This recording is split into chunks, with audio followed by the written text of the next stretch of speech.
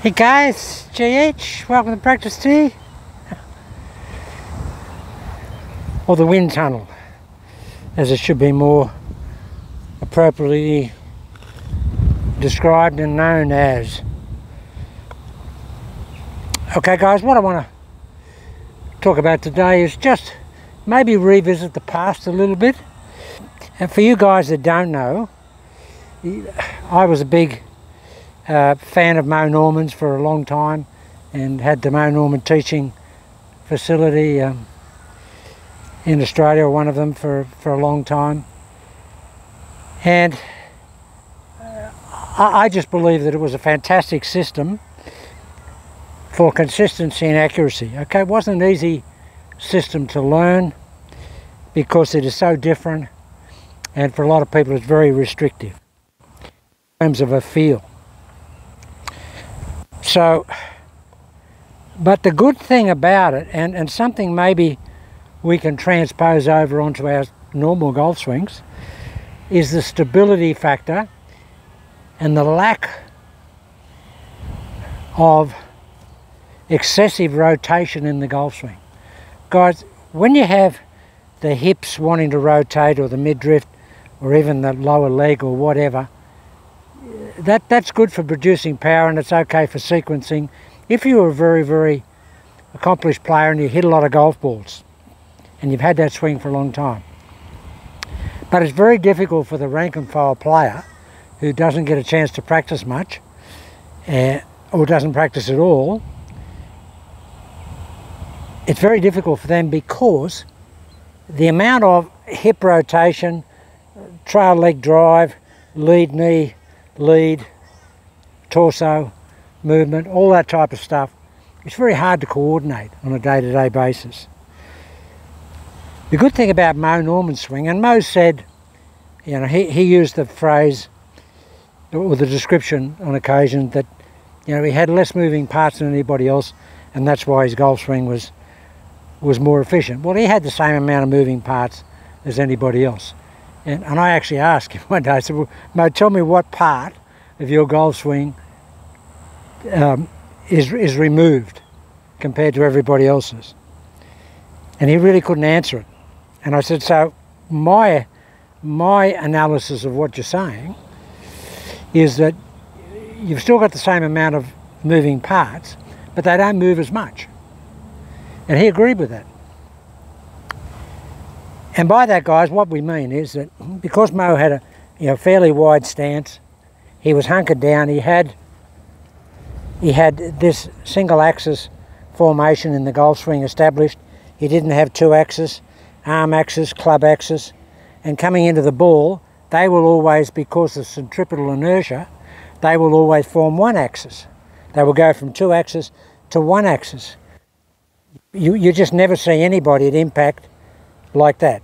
They're always like that in any golf swing because that centripetal inertia just straightens out those angles. And Moe knew that. So what Moe did was he just took that variable out straight away by setting up like that without that angle there.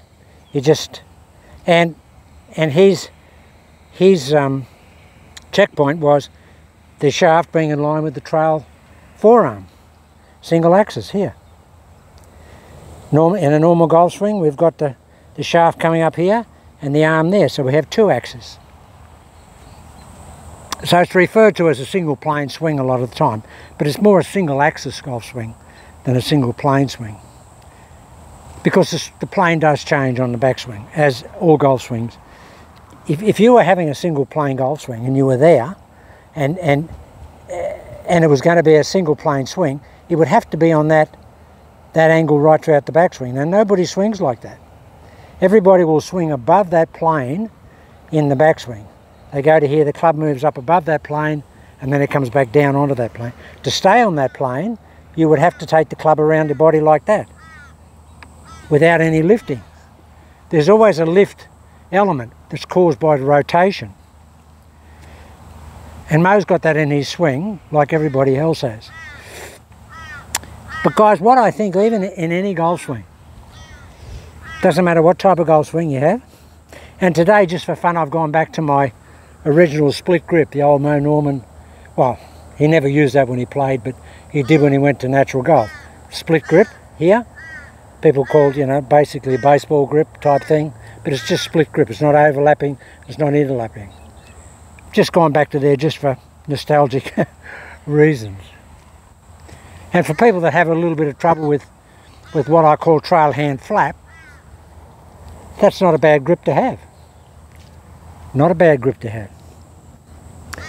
So what I'm saying here guys, for any golf swing, and if you have a conventional ball position, which essentially which Moe did, even though he started back here, he was into his golf swing here. He never just put the club back there, guys, like that. If you watch him, if you stood behind Moe Norman and you looked at him here, you'd say he's aiming way right because his shoulders are pointing over there. But that's only because he's into his turn. He, he, he's into the turn. He doesn't just take the club back there and leave his shoulders square. He moves his shoulders as well. And that was very confusing for a lot of spectators because they all said Moe Norman aims right and he pulls the ball. Well, he never did that at all. That's another story.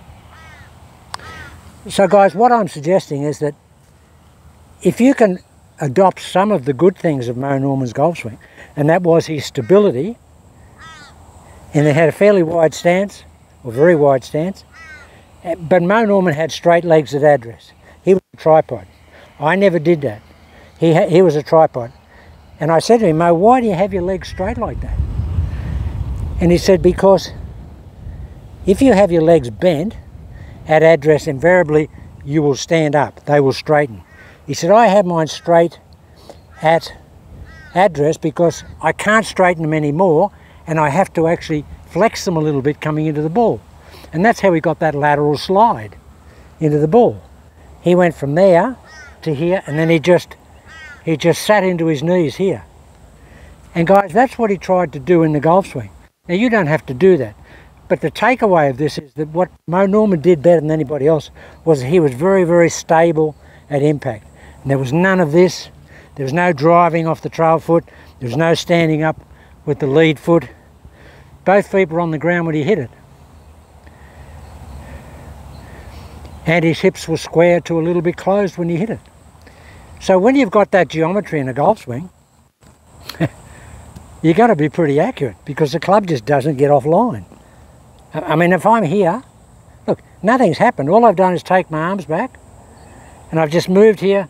I've just moved a little bit of my lead leg, stay there, trail foot's on the ground, club's gone past here, and we saw Moe here, then he lifts the trail foot and comes through to finish because that was, that's the inertia of the golf swing. So I'm not saying set up to hit the ball and then stay there when you hit it and finish because you won't hit it at all. You have to have some release of energy. So, all right, go with normal tradition. I never warm up, guys. And invariably, whenever I'm talking to people talking about the golf swing, I usually always hit the driver first. I never warm up. Never warm up. We used to have a a great athletics coach here in Australia, Olympic trainer called Percy Cerutty. Cerutty. And I met him once and, and I said, Percy, you always just take the boys off in the sandhills, no warm-ups or anything. And I said, these are world-class athletes, no warm-up. He came over and he poked me in the chest and he said, said, John, John, do you ever see a cheetah warm up before it chases the antelope? He said, if that cheetah was warming up, the antelope would be gone. He said he'd starve to death. You don't see cheetahs warm up before they they run. Now that was Percy was a little way out. But I've never ever felt that I had to warm up with with the golf swing. That was just a side story. Yeah, you never see the antelope stretching or warming up. So guys, this is what conven conventional conventional golf, right? to show you conventional golf swing with all the motion in it. And I can do it pretty well and do it okay. And I get pretty good accuracy. I can hit off the front foot, hit off the trail foot, it doesn't matter. But for the exercise here, we'll hit it from a conventional position here. And just, just a conventional golf swing. Now there's first shot of the day. I'm aiming up there between some fence posts up there, 20 yards wide, and that ball's just gone in there. Just gone in there, guys. That's a conventional golf swing. I'll do another one. But look how much body action's taking place.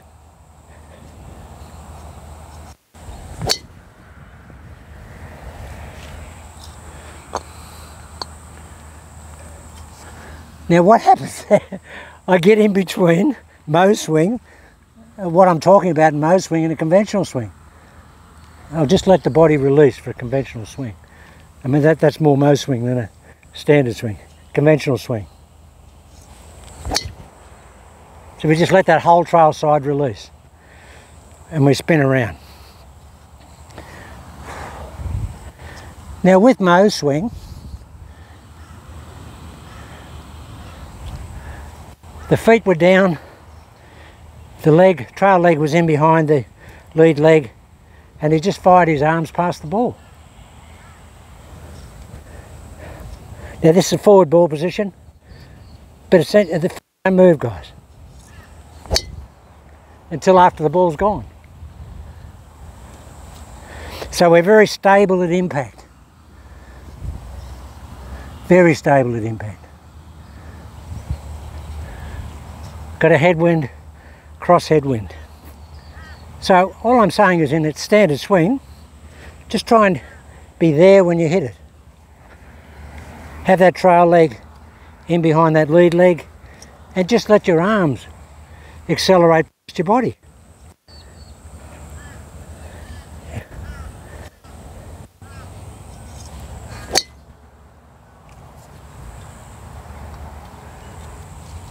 Now that's what we call cross programming.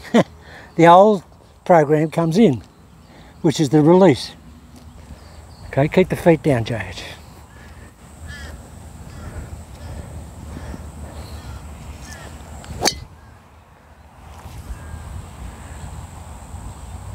Now that's the feet down, stabilising the arm swing. That's all that is, guys. Feet down, stabilising the arm swing. Hard for me to do it now because I haven't done it for so long. And the old pro, uh, normal golf swing comes in.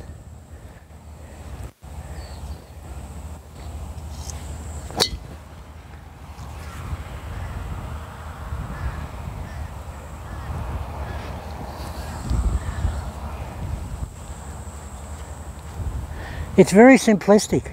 Those balls are just dead straight. I mean, dead straight. So the story is, if we can just be here when we hit it, not here, as soon as we drive the trail leg and the hip, it's going to move the torso, going to move the shoulders. Going to change the delivery path into the ball, unless you're an extremely good ball striker. Or you're very, very flexible. And then you can keep your shoulders closed and you can have your hips out of the way like the ladies do. Or the top line tour players who are who do a lot of uh, plyometric training.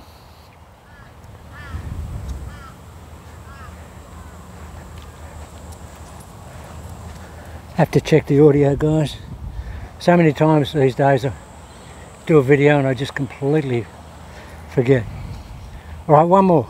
So the main message is stabilise the lower body, take the club back. See how those feet are on the ground? See how I'm sitting into the shot? I'm using a bit of ground force. A little bit of ground force. And they're just great shots. We've got a terrific headwind, crosswind. They're just going up there and just falling off as the wind picks it up at the end. Now how long you stay down and how much you release after the shot is very, very individual and personal.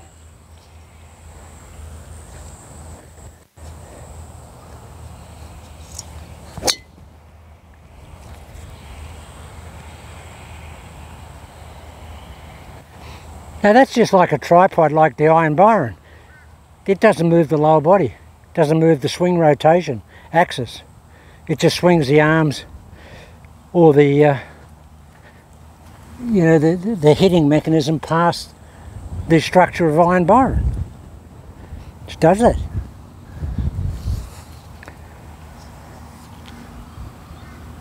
Now I'll just hit a normal shot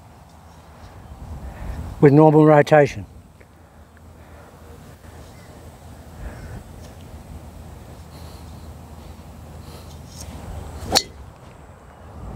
See over here? Now I can get away with that because I've hit a lot of balls. But if I get over there just a tad too early, or I just have a little bit too much rotation, you're just going to be delivering the the golf club face to the ball uh, differently every time. Whereas the feet are down, here you're basically delivering square on all the time and the shoulders are square. Alright, now we're warmed up. Let's see if we can hit one.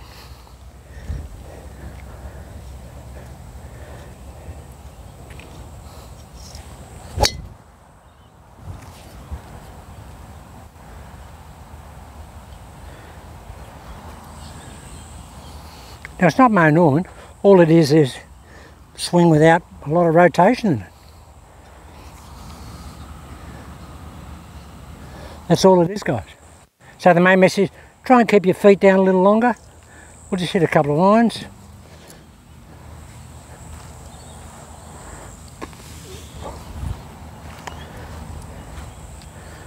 Just keep the feet down a little longer.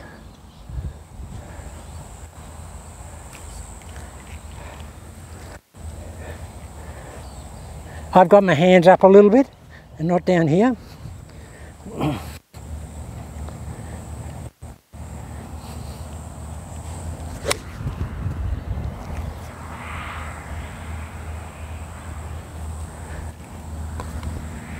Got four on here guys. It's just perfect shot.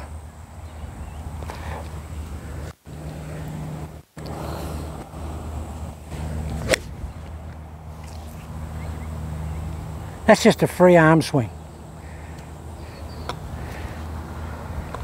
The body's just reacting to the through force after the shot and just going around after the shot, but at impact the feet are down.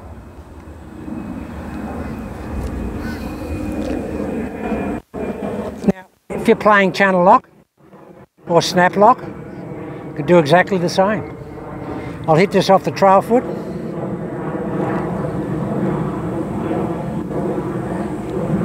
but with the feet down.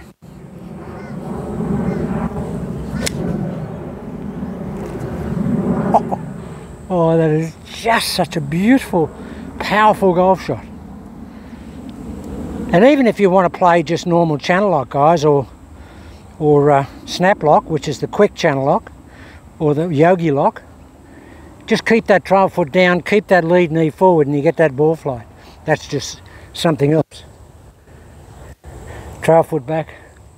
Here trail foot down.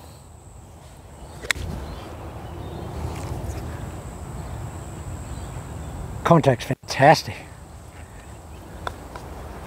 I mean really fantastic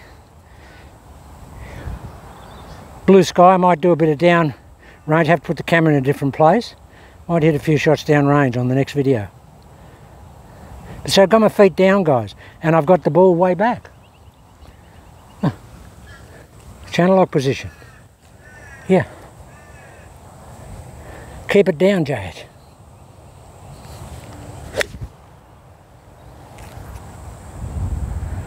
Now that's way down after impact. Way down after impact. Wind is super strong.